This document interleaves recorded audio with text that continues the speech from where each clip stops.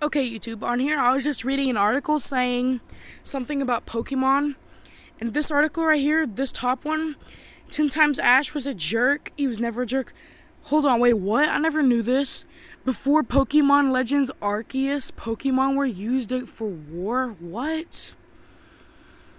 Oh yeah, and on here it also says that um Pokemon is coming up with a new character and just leaving Ash behind like he died or something the the 10 first Pokemon to join Team Rocket, that's Carnivine. I remember Carnivine and Lickitung to when they joined Team Rocket. But yeah, man. It said po it said Pokemon's coming up with a new character and leaving Ash behind. Don't leave Ash behind. Come on, you're leaving the you're leaving a character since Gen 1 behind. This is supposedly Gen 90 of Pokemon, I'm assuming. Well, that's what Google said. Supposedly Gen 90. Um, anyways, of that.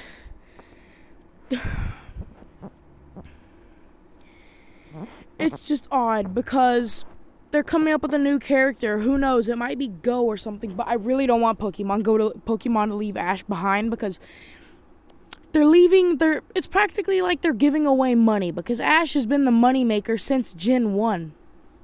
Since the first ever anime of that show came on. And I'm sad because I don't want them to leave Ash behind.